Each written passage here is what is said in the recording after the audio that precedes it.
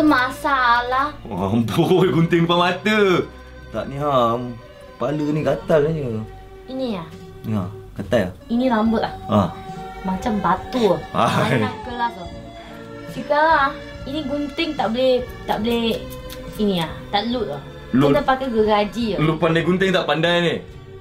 Eh, diam ah. Belum potong sudah tak ada rambut ni. Pusing.